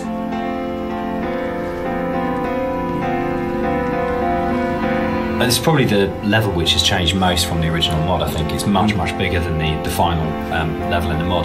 One of the major changes in there is in the original mod, the whole side of the cliff face was covered in painting and writing, and a lot of that moved inside to that corridor in the caves where it's really obsessionally painted on. And it was really it took we spent so long on that because we were trying to get it looking right because I really it's one of those really interesting examples where I loved the image and the idea that you've got this this guy painting the entire side of a mountain with, with words and symbols and things. But it was really interesting when it went into the rebuild, it just never worked. And I think it was because the environment was so crude in the mod that the those symbols and that painting became the focus of the level. And it changed the feeling of the level completely when actually that just wasn't something we could realize in any way that not even technically but just didn't artistically look and feel right. And I think probably sort of retrospectively looking back on it, that's about the, the sort of the sophistication and the subtlety that then came into the art rather than just being this is literally just a canvas that we write words on to actually the environment telling its own story without the story being literally painted on it. Yeah, it, it was it was very difficult when we were experimenting with that to kind of like make it not completely unreal. Like I think for me it was kind of I wanted to kind of bring the player a little bit back into reality after the caves and I think with having those, those symbols everywhere, it was kind of pushing them out a little bit. Um, so I think what we came to, with the kind of compromise we had, it was it was kind of a nice in between. Yeah, it didn't feel like a compromise to me. It felt like, no, it felt like it was. It didn't work, but it kind of. But the, the, those those symbols were coded. Like there's the, the the hill in the background when you're standing right at the end of the boat and you look back and it's you suddenly realise that the shape of the mountain is the shape of a woman lying on a side asleep. And that, I remember seeing for the first time around and going, it's saying the same things, but it's saying it in a much, much, much subtler way than um, in the initial layer. But it was definitely challenging going back to how do you have a deep, complicated, subtle art style, but still managed to have something which is very sort of stark and symbolic laid over the top. It was much more challenging.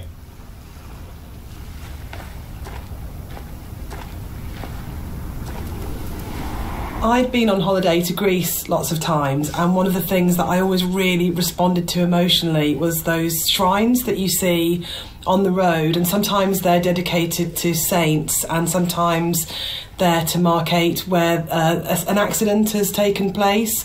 So you'll get photos of the deceased person and flowers and candles, and it always really touched me.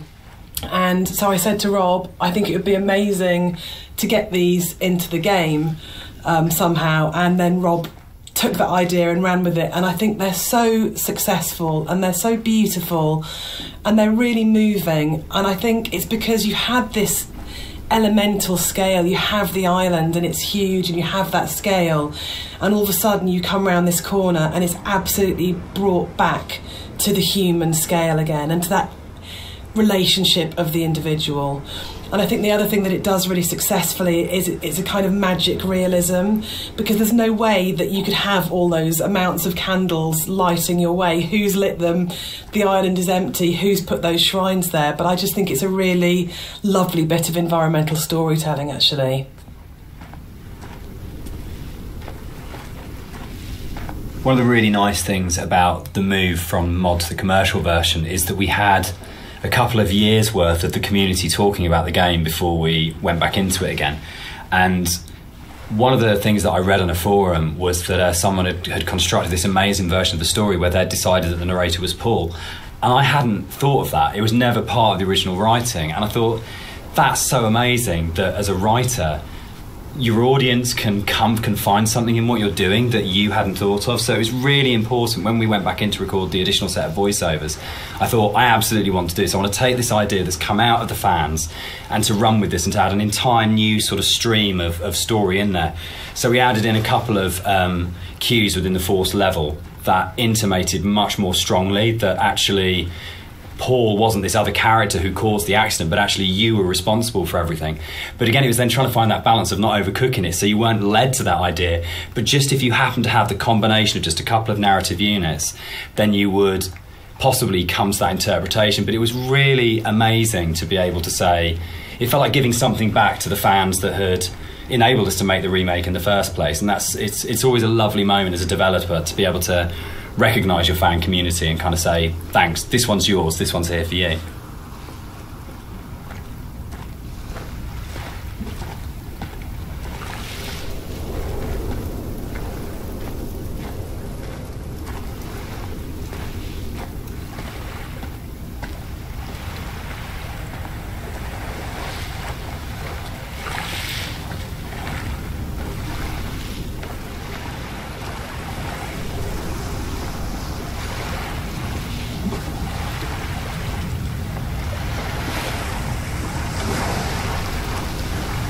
I think one of the most fascinating things for me about planning this director's commentary has been that in previous years, when we've all the three of us have talked about Dear Esther, we've talked about the interpretation of the player.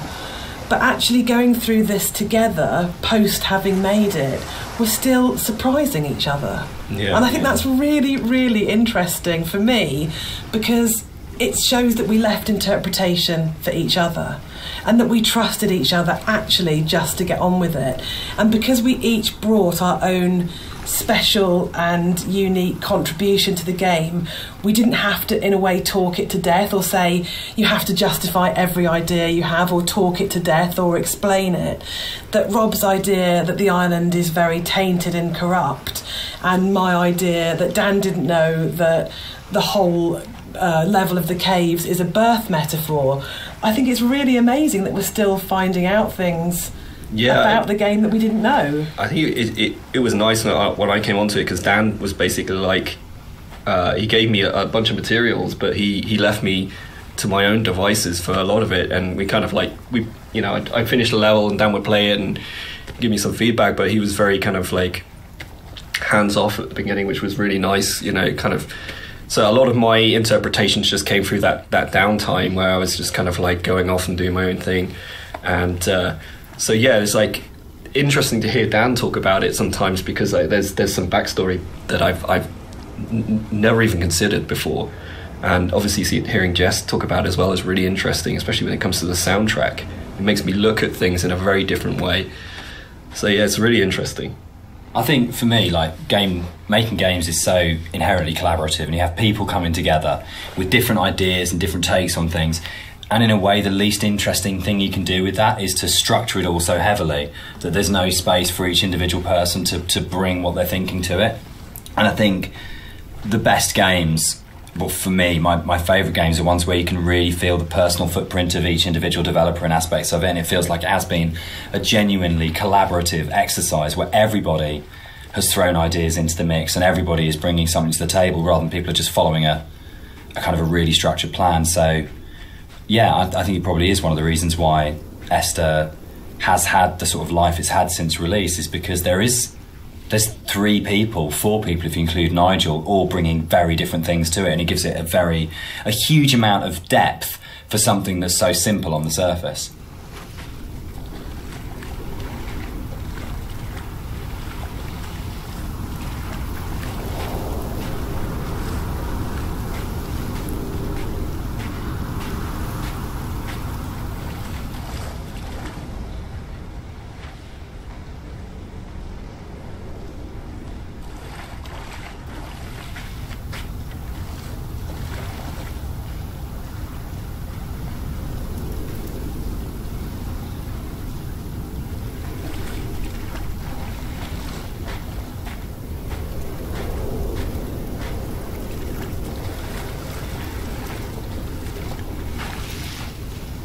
Fascinating to me, Dan, is that you're an atheist, but each of the three games that we've made are so strongly about religion, either the language or taking allegories and stories. Why are you so drawn to it? I think I'm really interested in people and um, the stories that make up people, and I think there is a like in in the Bible, like most kind of religious texts. It's not about what it is; it's about what is behind what it is, and that's what you're really getting to is the idea of the sort of the parable or the, or the metaphor. And it really felt like, particularly with um, uh, Paul on the road to Damascus is a story that, that many, many, many people know and we can understand. And it's about redemption and consequence and guilt and transformation. And who you really are and what that means. And it felt like just a really strong, powerful way of making it very accessible. The narrator's kind of in a turmoil, in a, in a kind of a, a story that we, we know really well. And there's a universality to those kind of questions that, you know, whether it's, you know, uh, Christianity, whether it's, it's Islam, whether it's, it's kind of Buddhism, that they're, they're asking very broadly similar questions. What does it mean to be human? What does it mean to be a good person? How should we behave to each other? How should we feel about the world we're in? And it's a really powerful way of speaking to a lot of people. I think that's always been really important as well, is that it's it's it's about saying no matter who you are or what your kind of like outlook on, on, on life is, whether that's, you know, faith based or, or secular, that we are all effectively asking the same questions. And that's why I think all our games kind of tend to be around those questions.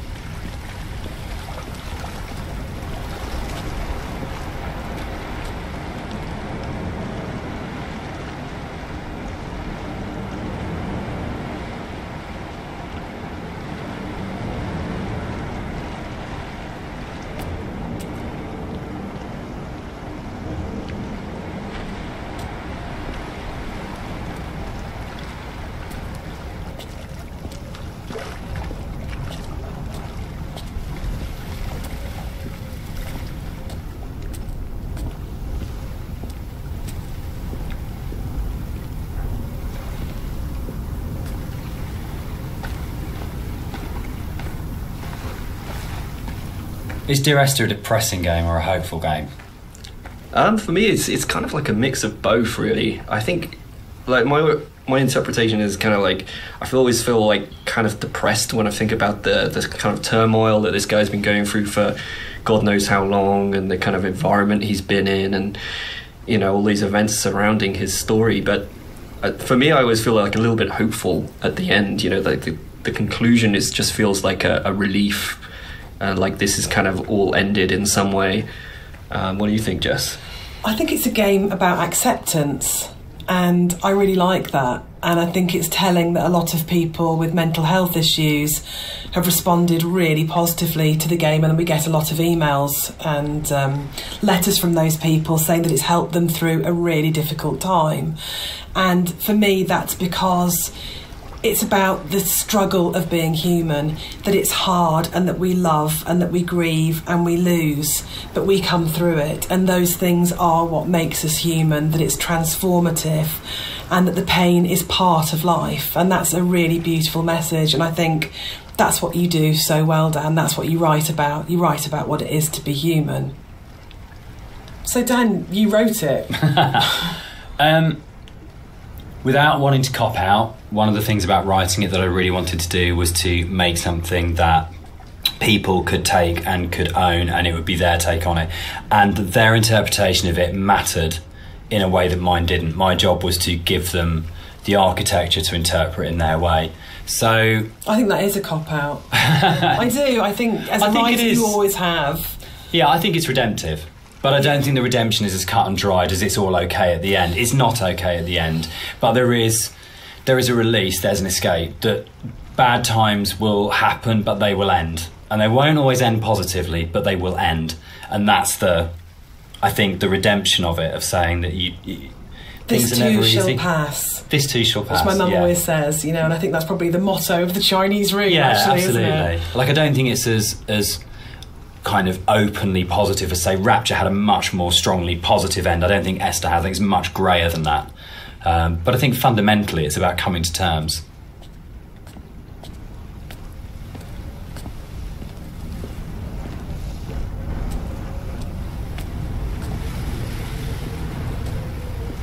So, Dear Esther is the first walking simulator. How do yeah. you feel about walking simulator? Uh, you know what? I was, I think I, I took offence to it when it first became a thing, but uh, you know, I think actually I don't mind it so much now. I think the fact that we have kind of taken ownership over it, like our that genre has been kind of uh, made our own by not just our game, but like a bunch of different games have kind of embraced it. Um, I don't know. What do you guys think? I'm still really confused about the need to categorise in games, probably more than any other creative industry. And I think it shows that games have a long way to come in terms of how we describe an experience. So I do agree with Rob that it's really positive that we reclaimed Walking Simulator, but I still find it reductive, possibly as a term. What about you, Dan? I think for me, it's it's people want to know what they're what they're buying and what they're getting into, and I think it's so people understand what a walking simulator is now in a way that if it was like first person adventure or slow moving, not very interactive, story driven games, they're all sort of really very fluffy. But I think if you buy a game and someone says it's a walking simulator now, you, you've got a pretty good idea what you're getting. And there's been, you know, there's Gone Home, Firewatch, Stanley Parable. There's so many other really good titles that kind of fall within that group of games out there now that it does have an identity. And I think that's the really good thing about it. I mean, when Esther came out, there was literally nothing. We had no idea how we described it or what No, we we, called actually it. struggled with that quite a lot. When it Yeah, and sort of marketing ended up being sort of like a ghost story because it felt like it was the closest thing we could get. But it feels like now you can make a game like this and you can say it's a walking simulator, and people will know what it is straight away. Yeah, I think I think that's the nice thing is, there's a whole group of games out there now that that quite comfortably put themselves into that category. And so it's it's like if we were to come out before and just said it's a walk-in simulator, people would have been like, "Well, that sounds terribly boring. That doesn't. why the hell would I play that?" But now people kind of are a little Seek bit them out. Yeah, now people are kind of familiar with what that means. Uh, the people out there who actually seek this sort of stuff out, and it's kind of really cool. I mean, me myself, I would actually do that, use that as a term to search. But yeah, I, I, I mean, it's a very simplified term for what our game is, uh, and there's obviously a lot more to it than walking. Um, but I think when you look at other genres, they're, they're also kind of very simplified. You know, first-person shooter, role-playing game. Uh, it's you know, it uh, to me it doesn't seem as bad as any of those other things.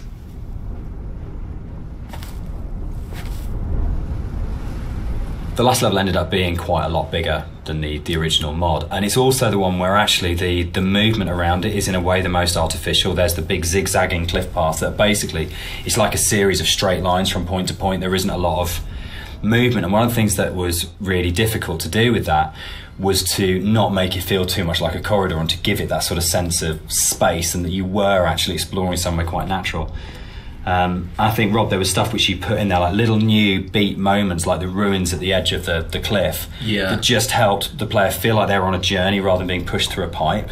Yeah, there was it was kind of just giving the player the reward for for continuing on, and it, you know, kind of still giving them some aspect of exploration and things to discover. Um, I mean, the journey in this one is is mostly uh, vertical, um, but in the spaces where you you are going horizontally, you know, there's there's at least in the original mod there wasn't a lot to see or do. So I, I just tried like layering in some very subtle things, things that didn't necessarily add huge arcs to the story, but just kind of added little little uh, questions more than anything else. Um, like I added the dock there with uh, at the end. There was this yeah. There's there's lots of little bits and pieces that have kind of been layered in to to really uh, just make it a lot more of an interesting place, despite the size.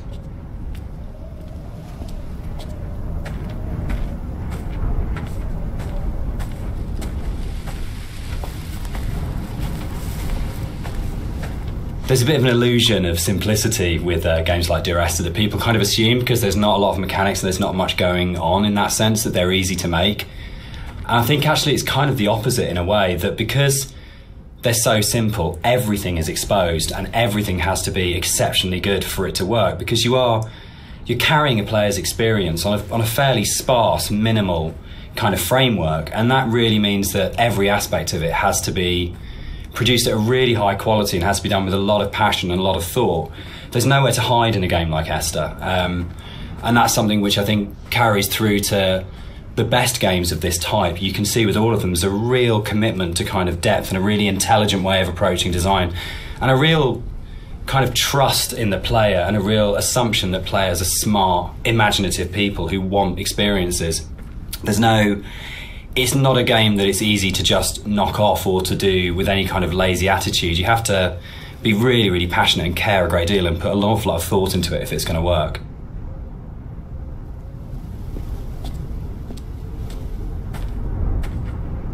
One of the things that I think was added uh, more f- frequently in the in the the final version of Dear Esther was the inclusion of a number of ghosts in the game.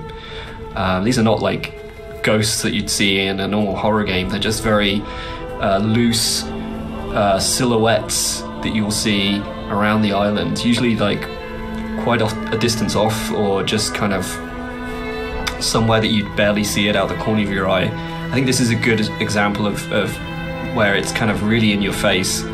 Um, and these are kind of just something that we put in to kind of uh, not just bring some uh, unreal elements to the island, but something supernatural as well, something that's kind of beyond uh, this world, something kind of unsettling. Um, and yeah, we've you know a lot of effort's been put in to make these things very subtle. I don't didn't really want them to be like I didn't want it to be a ghost story, uh, so to speak, but I just kind of wanted to bring some of this supernatural element into the game, and, and this area is is probably one of the most prominent because you can see it just before you you go down into the the gully here, um, and I think it's it's it's really uh, one of my favorite scenes just because of it being, being so spooky, so, so unreal, and so uh, uh, interesting.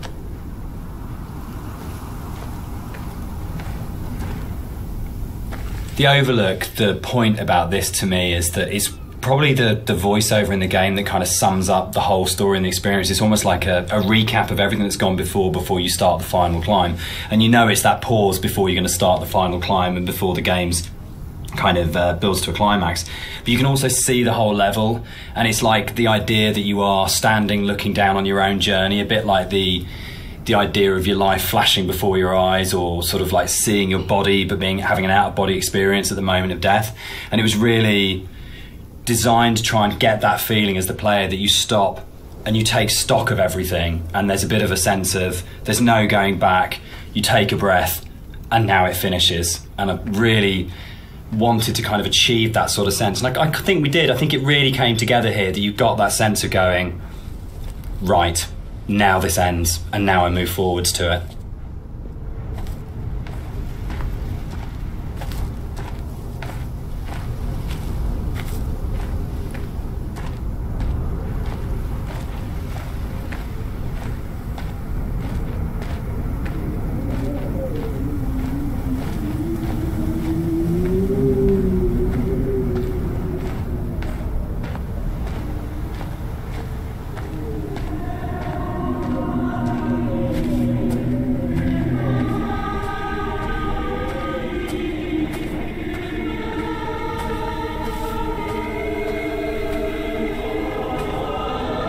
Here it, it kind of uh, the environment becomes a little bit more surreal again. Uh, we kind of play with the colors a little bit, bring up the saturation. It's kind of a little bit of a return to some of the more cave-like aesthetics in terms of color, colors and stuff like that. Um, and it, it's kind of there to kind of signpost a uh, another significant moment in the game or something that's leading up to the significant moment. It goes back to this kind of idea of having these uh, emotional signposts in the visuals of the game um, without it being overly obvious. And, and some of that uh, emotional stuff comes through just through the colors of the environment. And, and the more saturated they are, the more kind of surreal things become. Uh, so this is kind of like a turning point in the game. It's kind of like the the final notice of you reaching the end.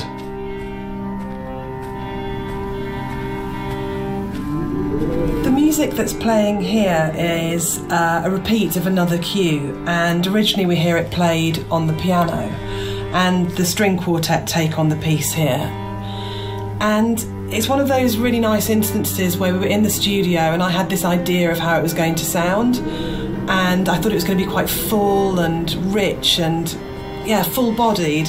And then one of the string players said to me, This is wrong actually for what we're playing. And they said let's take, strip out all the vibrato. Let's play it in a really scottish plain style. And it absolutely transformed that piece and it's one of the really special things about being a composer is that you get to collaborate with people who come fresh to it. So you have this preconceived idea of how it should be and then they say no why don't we turn it around and think about it like this? And it absolutely fits and works for that scene because what we're getting at this point is a sense of fragility of an ending and it's almost reminiscent of a funeral procession. It's slow and it's dirge like but yeah it was just a lovely moment where they gave something of themselves, and that's what's amazing about working with live instrumentalists. You're never going to get that from a sample.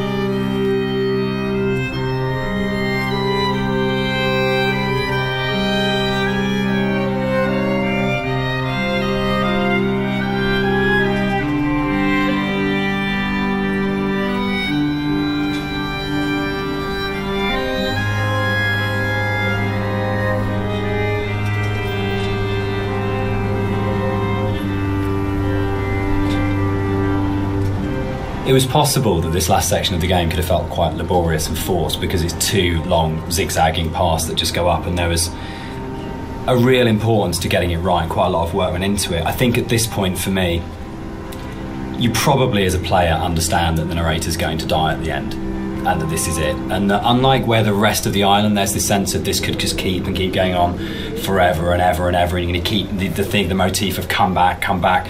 But I think when you set on this path, we really wanted to have that sense of this is it, this is the last time you're going to walk these paths, this will end now. And that sort of idea of going, you're kind of climbing towards your death, but you're also moving towards a point where that glimpse in the caves where you see the motorway and you go, I understand what this is about. For me, the whole path up the side of the mountain is about saying, it's okay. It's that kind of starting to, to kind of release it and go, it's kind of okay that Esther died. It's kind of okay that the accident happened. I know that I'm going to die. I know that this is going to end.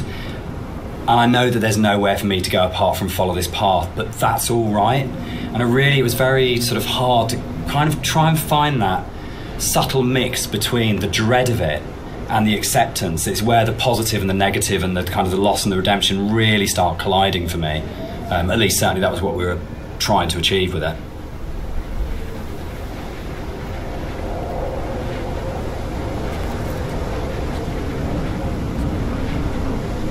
The climb being quite a poignant moment of the uh, of the game overall and of the story, uh, it was quite a difficult task to try and make that climb still interesting and not not too laborious because it's kind of this zigzag up there um, with nothing really. There's no real environment. You just kind of have the the, the sea on one side and the cliff face on the other.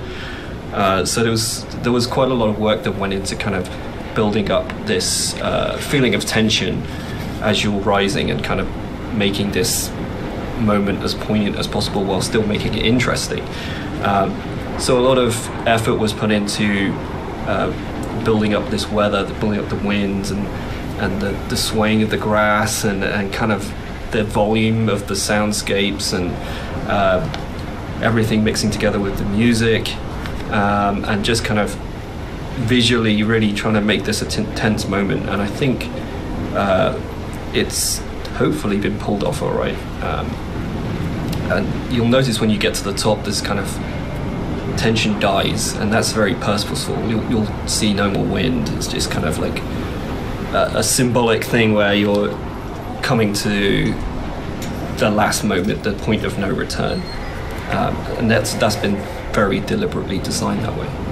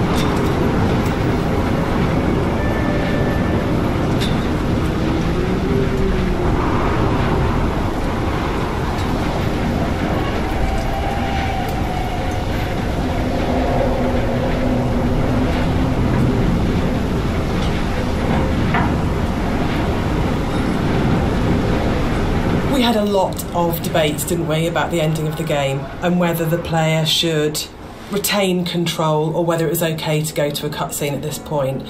I personally don't mind it. I actually actively like it because I think it works really well as a metaphor for loss of control at that point. Dan, I know you're not as keen. Yeah, I'm not. I, I would have loved the player not to have had control taken away from them, but to me, it was a kind of a it was a balance between two evils: the evil of having a cutscene and the evil of the player accidentally falling off the ladder halfway up and destroying the ending. Yeah, I, I agree. Like we tried, I think we tried a few different things, and the tech at the time just wasn't the ladder tech at the time just wasn't there. So, uh, and the other thing for me was pacing. It was it was making sure all the music, the voiceovers, uh, the timings, and everything were perfect for that final jump off point, and uh, just letting the players kind of noodle around going up a ladder for what may have been like seven minutes because it's a tall tower uh, was was kind of an impossible task.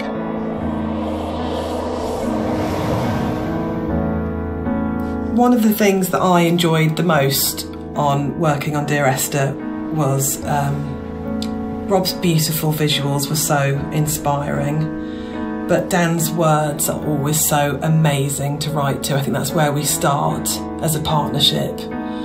And the music at the end was so easy to write because that last voiceover is the pinnacle of the writing to me, as it should be, because it's the last VO, so you would have failed if it wasn't good.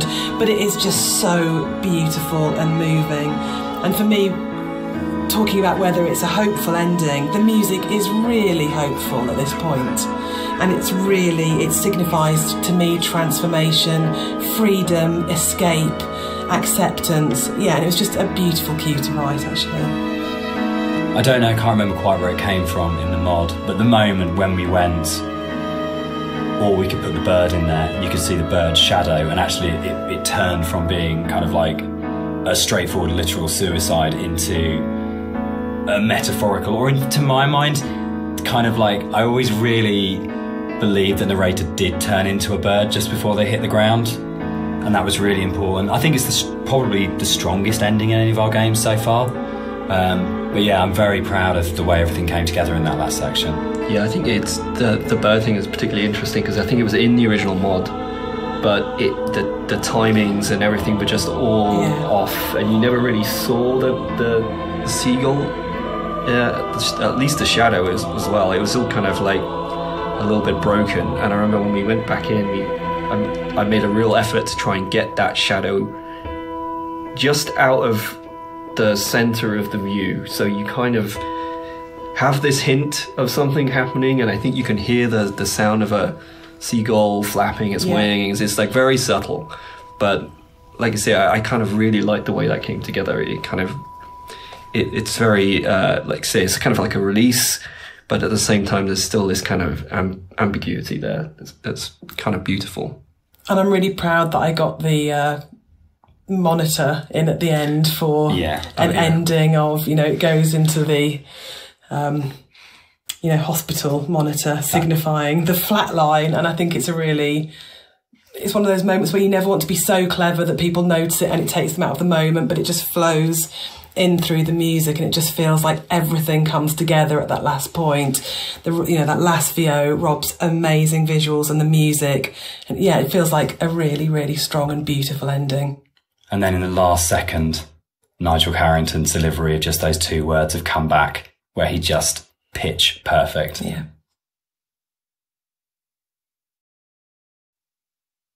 So that's the end of the director's commentary. We'd just like to say a big thank you to everyone for listening. We hope you've uncovered some secrets and some facts that you didn't know about the game before. We'd also like to say a huge thank you for buying the game and for all our fans who've been behind us and been behind the game and have kept it alive all these years. It's a real privilege to that it's still out there, still such a, a title that people love so much.